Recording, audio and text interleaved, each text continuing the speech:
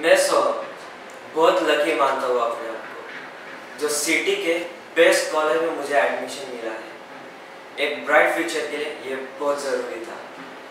तभी मैं अपने माँ का बोझ हल्का कर पाऊँगा। उसका दर्द मुझसे नहीं रह जाता। दिन रात मेहनत करती है, पढ़ाती है, लिखाती है, घर संभालती है। बस, आप मुझे कोई कसर नहीं छोड़नी। बस उसे आराम की ज़िंदगी दे